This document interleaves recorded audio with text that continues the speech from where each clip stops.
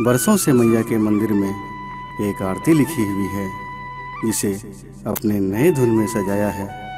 मनीष आनंद ने एवं साथ दिया है रोहित प्रमोद ने। इसे अपने स्वर में सजाया है मनीष आनंद एवं रक्षा रानी ने। तो आइए, हम सब मिलकर माँ की आरती गाते हैं। जय माँ।